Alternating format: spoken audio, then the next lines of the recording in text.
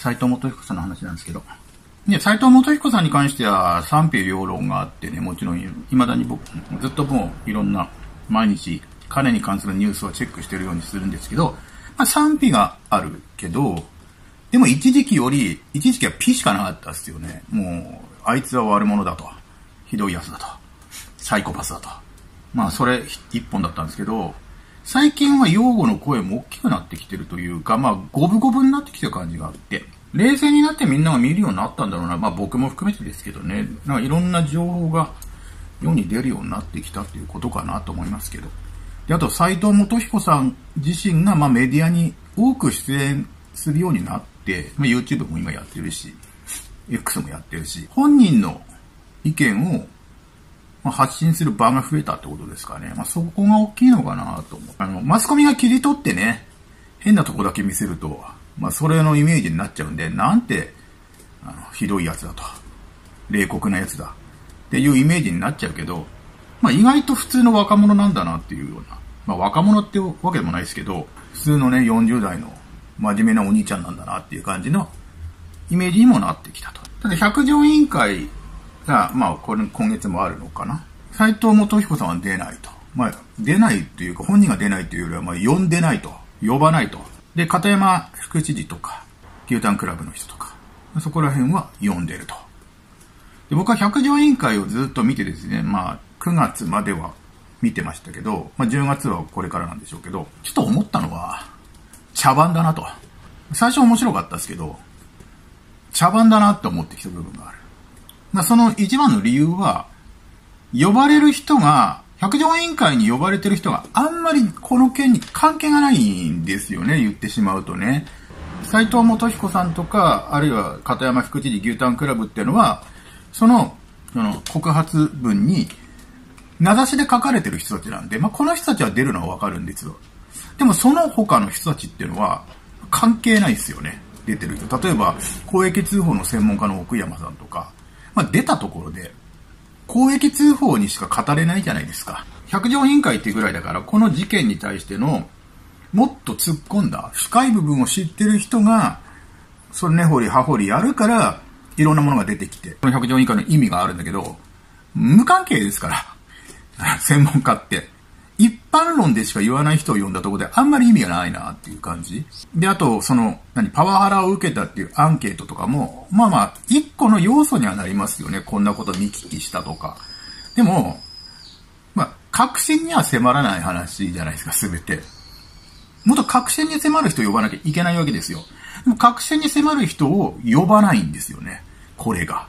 そこが茶番だなっていうふうに思うんですよ。まあ、も、もともと確信に一番迫ってたのは、この告発文を作ったっていう、渡瀬元局長なんですよ。この方が、本当は出るって言ってたのね。で、出る直前に、まあ、自殺してしまったっていうことなんですけど、まあ、そこからこの話はややこしくなってるんですよね。で、斎藤元彦さんも出てちゃんと話して欲しかったって言って、それは本音だと思うんですよね。ちゃんと出て話して欲しいんだと思うんですよ。なんでこんなことをしたのかと。で、それ以降、これってあんま追求できないような状況になったんですよ。なぜならば、これは文春とかでもやり始めたってのがあるんだけど、渡瀬元局長のプライバシーを晒すっていうことになってしまう。そのプライバシーを絶対言わないので、文春でも絶対書かないんですよ。知ってるのに書かないんですよ。で、そのプライバシーを晒すっていうことを晒さないでくれって、やめてくれっていうので、や、やろうっていうことを維新の会が言ったと。増山議員とかがね。いやいやいや、それはフェアじゃないからやろうよと。いや、言わないでくれ。そしたら、それに対して死をもって抗議するっていうことを言って亡くなっていると。で、それに対して、じゃあプライバシーって一体何なのかっていうと、それのせいで、その、それを暴こうとしたせいで、彼は亡くなったんだぞっていう大義になってしまってるんですよね。だからそこがタブー視されちゃってるわけですよ、今は。亡くなった人のプライバシーまで晒す気かっていうことを声高に言う人がいる。それは丸尾牧県議とか。で、多分、これって、あんまりひっくり返したくないんですよね。だって攻めたいのっていうのは、これもともと権力闘争の話なので、丸尾真紀さんだったりとか、と竹内さんとか、無所属の人たちっていうのは、引きずり下ろしたいわけじゃないですか。今の政権をね。で、そ、最初から渡瀬さん側なんです。議員にその告発文を渡したっていうのも、まあ、丸尾県議だったりとかに渡してるんでしょうけど、よく知ってるんですよね。この件に関して、経緯に関して。ただそれを言いたくないんですよね。まあなぜならば、それをあんまりつまびらかにすると、今度は、斎藤元彦さんに有利に働く可能性があるから、っていうので、ちょっともやもやしたままこの百条委員会が続いてるんですよ。告発されてる側だけを、何にも関係ない人が何かを言ってるっていう回なので、いやいや、告発されてる側も呼んで、告発した側も呼ばないと話にならない。でも、その告発した側は亡くなってるっていうので、ちょっと、蓋をされてる。でも実際は、まだまだいるわけじゃないですか。例えば白川智子さんなんていうのは、一緒になって、まあ、実際この人が書いたっていう話もある。24年3月で退任を希望していた。これはだから、あれですよ。渡さんと同じぐらいに退職を希望してた。しかし、えー、兵庫県知事のパワハラ不正問題の告発文書の作成に関わった疑惑が持ち上がり、一時、対象が保留に、ここですかね、朝日新聞。また、文書の作成やるふうに関わった疑いがあるとし、自己、自己都合退職の予定だった作業労働部実長の女性も退職を取りやめた。県は女性についても取り調べを、調べを進めている。まあ、これが白川さん。兵庫県は12日、文書作成に関わった疑いがあるとして男性と共に退職を保留していた次長級の女性職員55歳について、調査の結果、懲戒処分に該当する事実はなかったとして、同日付で自己都合退職を認める人事を、えー、発令したと。結局、まあ、自己退職を認めたっていう、えー、職員ではなくなってるんで、一般人になってると。まあ、一般人っていうか、まあ、職員じゃない人になってるんだけど、亡くなった渡さんとこの白川智子さんの、要は関係っていうんですか、そこはプライバシーに関することだから、そこは暴く必要はまあ僕もないと思うけど、告発を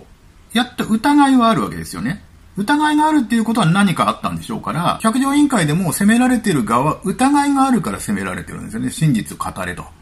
告発した側も疑いがある人は出るべきだと思うんですよね。それは白川さんじゃなくても、やすぐ辞めた副知事も疑われてたし、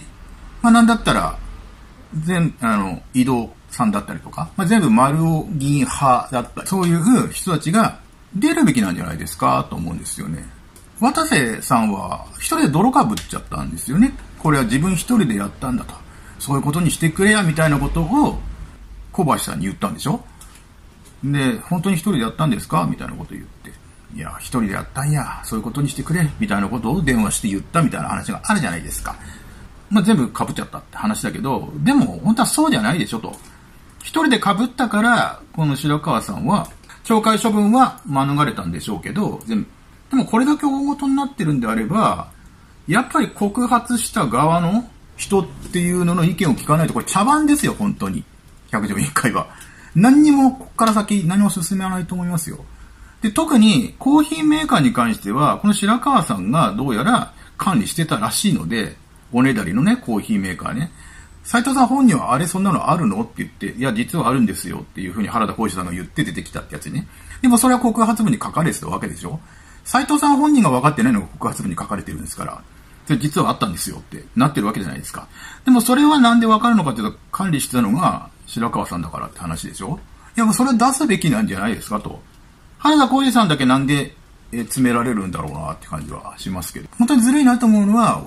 週刊文春とか、分かってるくせにここ書かないんですよね。いつも思うんですよね、こう、週刊誌ってね。一方的な方を書くんですよ。で、書かないじ、うんと、書かない自由を守るんですよね。あの、表現の自由、書く自由、報道の自由もあるんだけど、報道しない自由も奴らって持ってるんで、だからややこしくなるんですよ、これって。で報道しない自由っていうのをなくした方がいいと思いますよ。